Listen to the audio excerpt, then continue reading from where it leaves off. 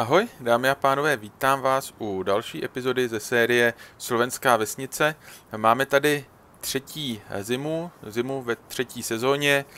Aktuálně nakládám svoji sklizeň, svoji úrodu ovoce a zeleniny, takže dnešní díl bude hlavně o nakládání bude to spíše formou, nebo ne spíše, bude to formou takového timelapsu, protože samozřejmě chci natočit, eh, že opravdu nakládám ty eh, palety ručně, protože tato série o tom je. Tato série by tímto právě měla být taková originální, že všechno, co tu je, tak nakládám ručně nebo ručně pomocí strojů, pomocí čelního nakladače, ať už jsou to palety, ať už jsou to balíky, ať už jsou to další podobné věci. Eh, samozřejmě, když bych eh, to udělal za kamerou, určitě bych se nevyhnul dotazům a připomínkám, že jsem stejně použil autoload, vlek a podobně. Z toho důvodu chci celé nakládání udělat na kameru, no ale protože hrubým odhadem mi to bude trvat něco kolem pěti hodin, tak samozřejmě z toho nemůže být jeden díl v kuse, takže eh, dneska něco naložíme, bude to takový timelapse eh, víceméně o tom nakládání. No a další díl eh, už by se věnoval i dalším činnostem, plus samozřejmě to nakládání tam nejspíš také bude. Takže se pohodlně usaďte a jak říkám, dnešní díl opravdu nakládání a odvoz ovoce a zelenin do výkupu. Tak jdeme na to.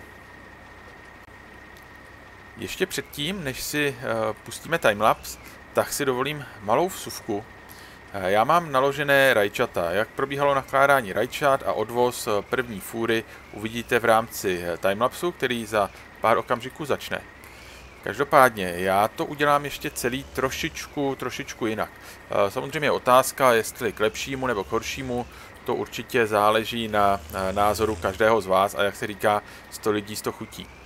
Jinak dovolím si ještě takovou poznámku, vidíte, že druhý návěs je naložený daleko lépe než ten první.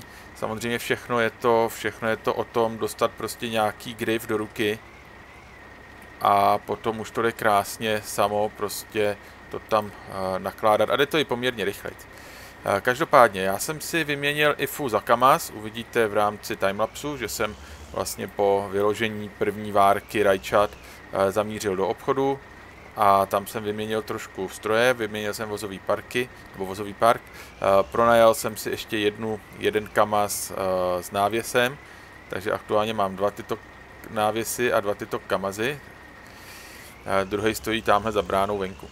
Každopádně, já mám skoro naložené rajčata, mě tam chybí už jenom pár, pár posledních palet, to znamená tři palety a jedna tam stála, takže čtyři palety rajčat. Já si tohle to zakurtuju. Tak, uh, někam si s tím uhnu, aby mi to tu nepřekáželo. A potom si naložím ještě tamhle ty čtyři, eh, čtyři zbývající palety. Uh, vypadá to, no, jako trošku rozházený to je, ale myslím si, že furt to vypadá lépe, než to vypadalo ten předchozí návěs, i když mě přijde, že jak to odkurtu a pak to znova zakurtu, že se to vždycky rozhodí, že to vždycky rozskáče protože myslím si, že při tom nakládání to také divoce nevypadalo. Ale to je jedno. Hlavní je to, že mám bedny naložené, že mám palety naložené, že tam vydrží, že je nikde nestratím. Já si to dám jenom tady pod střechu. Eh, každopádně, proč jsem se ještě přihlásil předtím, než začne timelapse?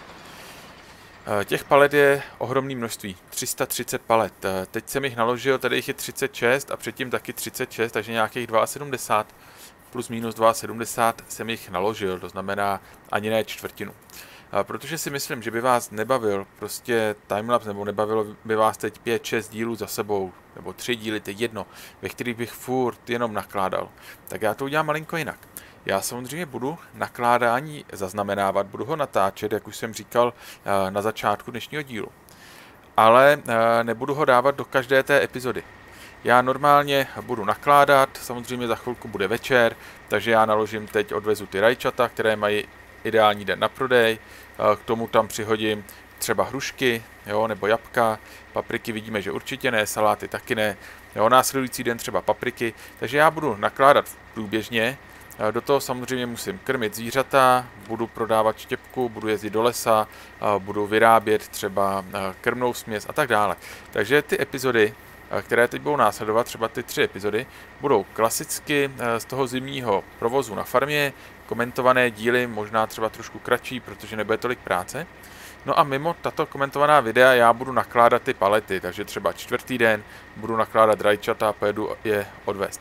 Eh, to budu zaznamenávat a na konci zimy by vyšel takový bonusový díl, bonusová epizoda, dlouhý timelapse, který bude obsahovat právě jenom to nakládání a odvoz těch eh, palet, těch beren s tím ovocem. Jo, že nebude v každé epizodě prostě 10 minut a pak 20 minutový timelapse nakládání, ale opravdu epizody budou klasicky, jak jste zvyklí.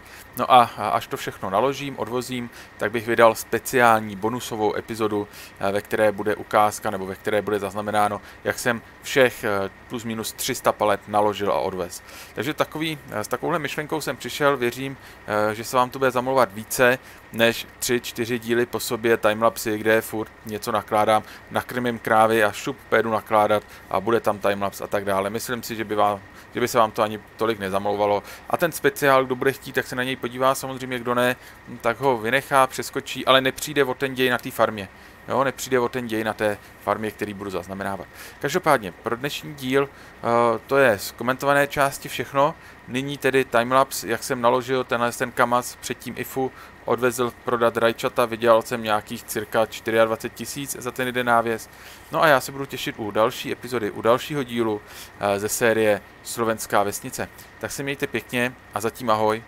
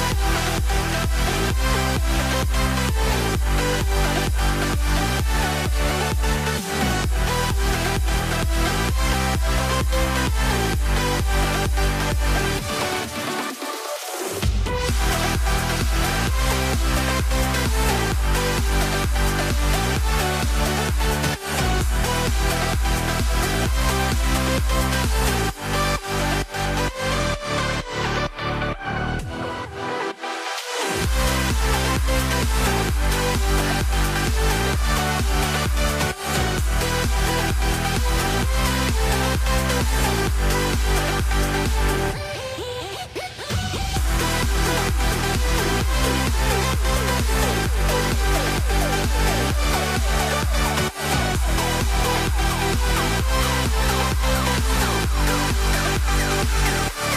go.